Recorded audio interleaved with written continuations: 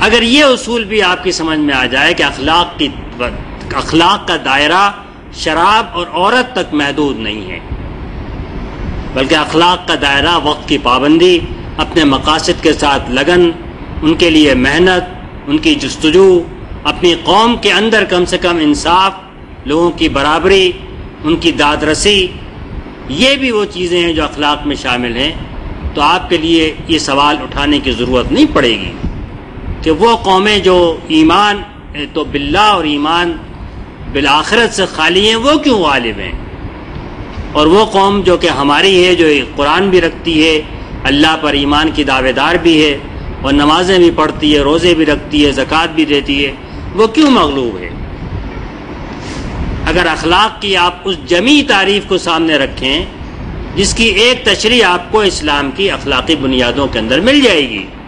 تو آپ دیکھیں گے کہ بنیادی انسانی اخلاقیات تو سب سے اہم ہیں اور انہی کی بنیاد پر اسلامی اخلاق تعمیر ہوتا ہے اور اسلامی اخلاق کی حالت بھی اگر اتنی زار و نظار ہو کہ نہ ایمان قابل اعتبار ہو، نہ تقوی قابل اعتبار ہو، نہ احسان موجود ہو، تو قوم صرف نام کے لیبل سے تو نہیں آگے بڑھ سکتی۔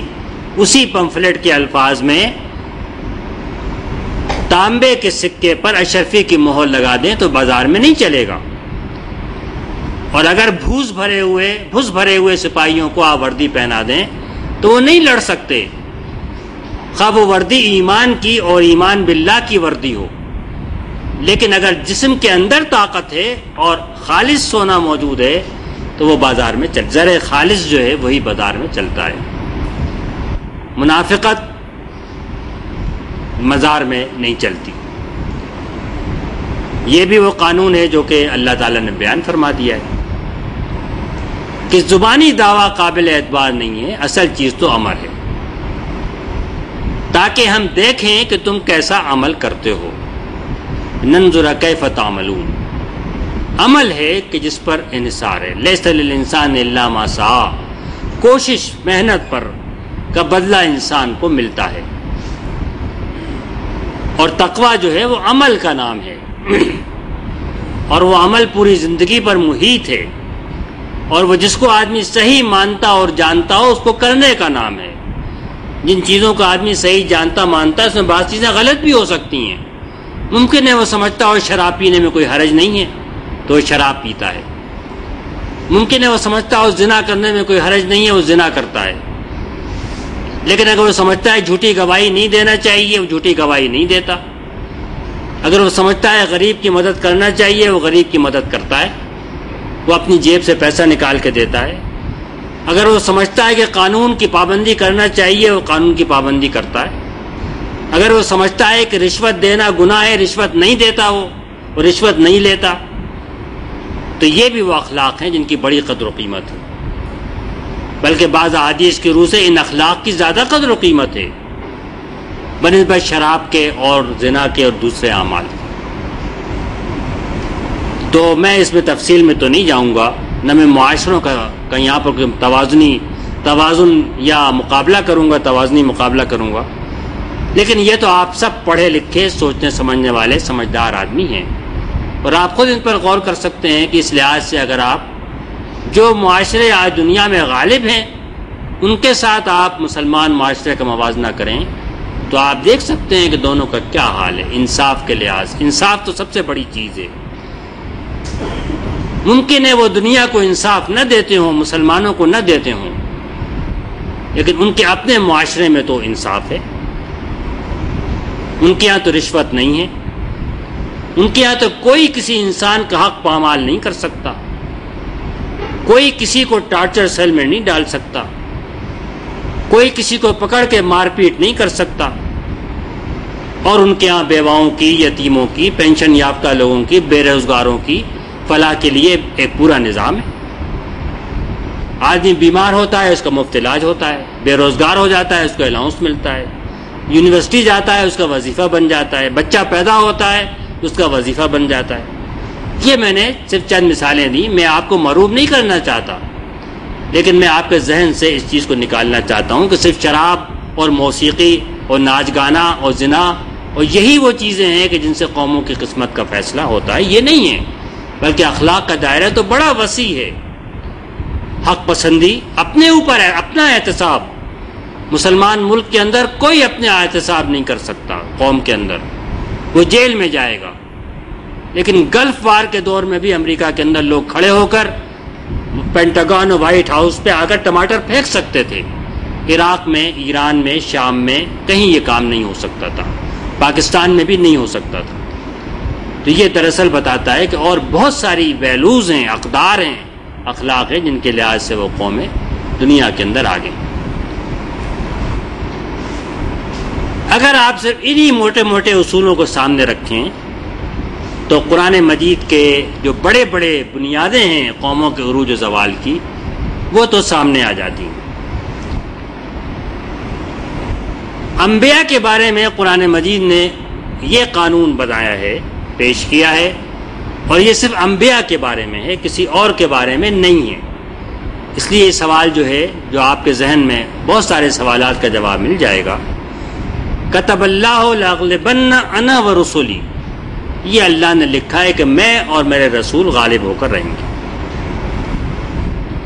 کیونکہ انبیاء وہ واحد افراد ہیں جو کسی قوم پر اخلاقی طور پر اتمام حجت کر سکتے ہیں۔ ہم اور آپ جو دعوتی کام کرتے ہیں، ہم نہیں کہہ سکتے کہ ہم نے حق ادا کر دیا اور اتمام حجت کر دی۔ انبیاء کیونکہ اتمام حجت کر دیتے ہیں اس لیے پھر سید مودودی کے الفاظ میں اگر کوئلے کی کان میں کوئی ہیرا باقی نہ رہے تو اس کا مقدر اس کے علاوہ اور کچھ نہیں ہے کہ اس کو پھونک دیا جائے اور جلا دیا جائے۔ چنانچہ انبیاء سارے لوگوں کو چھانٹ لیتے ہیں تو اس کوئلے کی کان کو جلا دیا جاتا ہے۔ وہ نجین الزین آمنو اور جو ہیرے نکل آتے ہیں ان کو نجات دی جاتی ہے۔ تو یہ قانون جو ہے یہ صرف انبیاء کے ساتھ ہے، انبیاء کے بعد اور لوگوں کے ساتھ نہیں ہے۔ اور لوگوں کے ساتھ نبی کریم علیہ والسلام نے ایک حدیث میں اس بات کو واضح کر دیا ہے کہ پورا کا پورا لشکر اور پوری کی پوری قوم دھسا دی جاتی ہے۔ تو سوال کیا گیا کہ ان میں اچھے لوگ بھی ہوتے ہیں؟ آپ نے فرمایا ہاں قیامت کے روز لوگ اپنی اپنی نیتوں کے مطابق اٹھائے جائیں گے۔ اور کوئی بلا آئے گی، کوئی عذاب آئے گا، تو وہ یہ دیکھ کر نہیں اترے گی بلا کہ اس گھر میں مومن رہتا ہے اور اس گھر میں کافر رہتا ہے۔ بلکہ جب قوم پر عذاب آئے گا، سب اس کا شکار ہوں گے۔ لیکن فرد کے لیے یہ بات اس لیے کوئی اہمیت نہیں رکھتی کہ اس کا کارنامہ زندگی تو اس دنیا میں ختم نہیں ہوا۔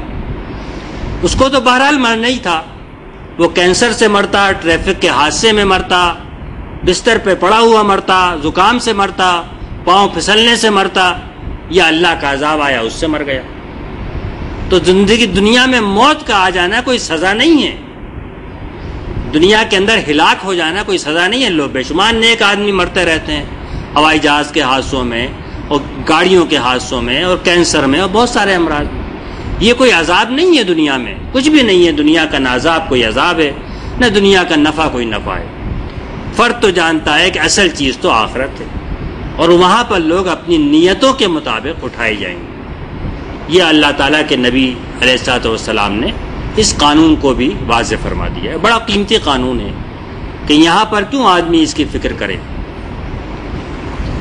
اور یہاں اگر کوئی تکلیف ہے تو وہ بھی عارضی ہے کوئی آرام ہے تو وہ بھی عارضی ہے۔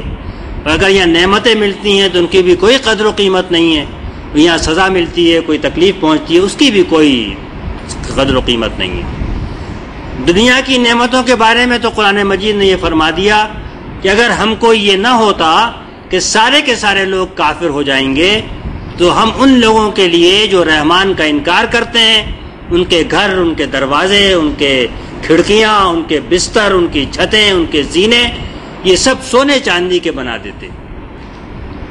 اور کوئی فرق نہیں پڑتا ہمارے لیے۔ مچھر کے برابر بھی وقت نہیں تھی۔ لیکن یہ بڑی سخت آزمائش ہو جاتی، پھر کوئی ایمان پہ قائم نہ رہتا۔ اس لیے ہم نے ایسا نہیں کیا۔ اس دنیا کی تکلیف بھی کوئی چیز نہیں، گزر جاتی ہے۔ ایک سانس جب نہیں آتی، تو کینسر کے بڑے سے بڑا درد بھی ختم ہو جاتا ہے ایک منٹ میں۔ پھر کوئی تکلیف نہیں باقی رہتی۔ لیکن آخرت کی جو ہے وہ، اس لیے دنیا میں اگر لوگ اس عذاب میں شریک بھی ہوں تو بالآخر آخرت میں تو وہ اپنا اجر پائیں گے، آخرت میں وہ اپنی نیتوں اور اپنے اعمال کے مطابق اٹھائے جائیں گے۔ جو نیک ہوں گے، وہاں پر ان کے ساتھ پوری داد رسی ہو جائے گی۔ یہ قانون بھی اس نے بیان فرما دیا ہے۔